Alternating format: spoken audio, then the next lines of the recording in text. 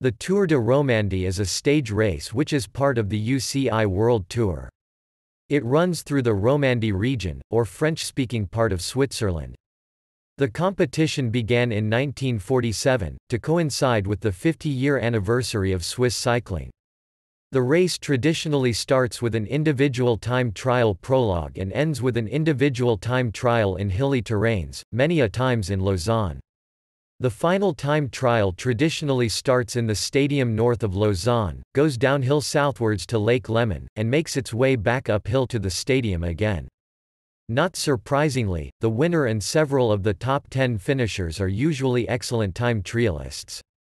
Four winners of the Tour de Romandie had gone on to win the Tour de France in the same year, Stephen Roche in 1987, then Cadel Evans, Bradley Wiggins and Chris Froome in 2011, 2012 and 2013, respectively.